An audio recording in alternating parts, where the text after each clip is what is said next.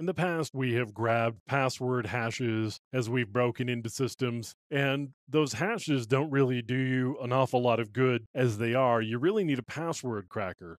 There are some good password crackers that are available. One of them is John. John the Ripper is a password cracker that has a number of capabilities here.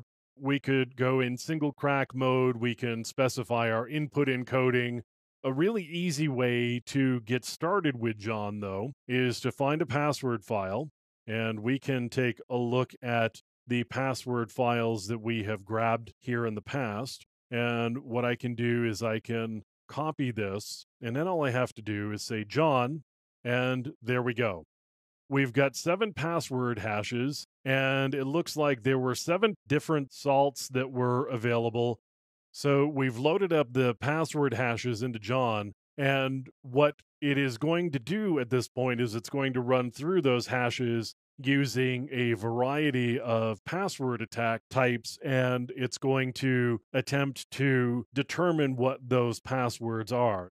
There are fairly easily guessed passwords within this set of password hashes because it came from Metasploitable. So there are some available ones that are there. And if I were to just hit any key here, you could see which passwords that we were attempting to guess through.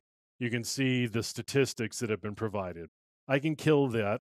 One of the important things about any password cracking program is the word list that it uses. Now, you could certainly do brute force attacks and just iterate through every single potential character in every position. But then you got to be able to figure out how many positions there are in the password, and brute force attacks can take a really long time. One thing that is really time saving is the ability to use word lists.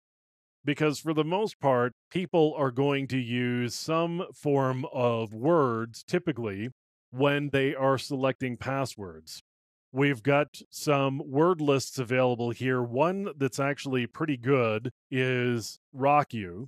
And I can say copy RockYou out to my home directory, and then I can just unzip RockYou.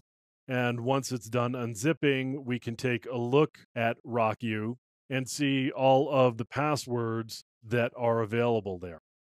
One thing that we get using these hashed format files. So, for example, the one that we were looking at before in MSF4 loot, if I were to take a look at this file that we had looked at, what you would see is I don't have to guess the username because it's right there.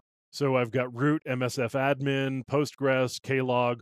I have the username, so all I really need to do is guess the password that's right there. And what we do in order to do that using a word list is we hash in the same way that this file was created, whether it's MD5 or SHA-1, we do a hash and then compare the hash results. And that's how these password crackers that use word lists actually function. And the same thing is true when you are brute forcing. You generate the password, you generate the hash, compare the hash, if you've got a password that generates a hash that is the same, you can say that you've got the password.